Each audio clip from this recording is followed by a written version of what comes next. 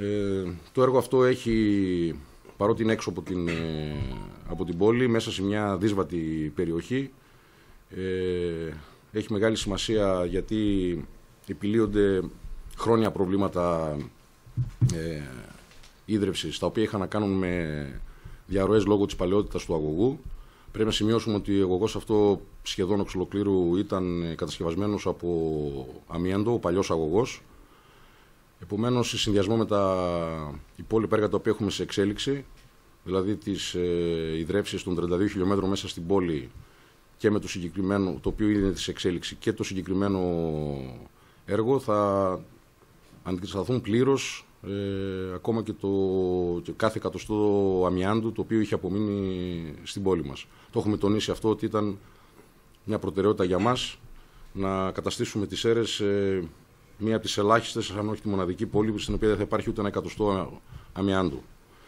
Ε, ταυτόχρονα ελαχιστοποιούνται πολλές βλάβες οι οποίες εμφανίζονταν στο συγκεκριμένο ε, αγωγό και στο δευτερεύον δίκτυο, οι οποίες οφείλονταν κυρίως σε πλημμυρικά φαινόμενα ε, στο χήμαρο της Βίσιανης και του Αγίου Γεωργίου, τα οποία πολλές φορές δημιουργούσαν ε, καταστροφές που απασχολούσαν ιδιαίτερα σοβαρά την, την υπηρεσία.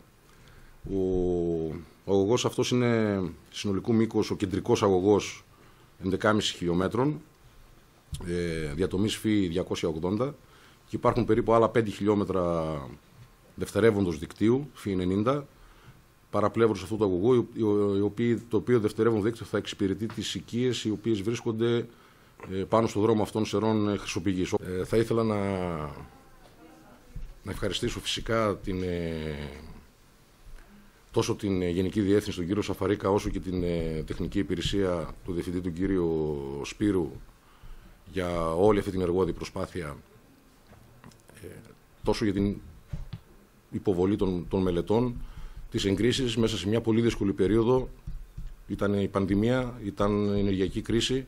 Μέσα σε αυτή την περίοδο εντάσσουμε και εγκρίνουμε έργα και ταυτόχρονα υλοποιούμε έργα με όλα τα προβλήματα που υπάρχουν με τις ανατιμήσεις και όπως καταλαβαίνετε δημιουργούν καθυστερήσεις που πρέπει συνεχώς να αντιμετωπίζουμε.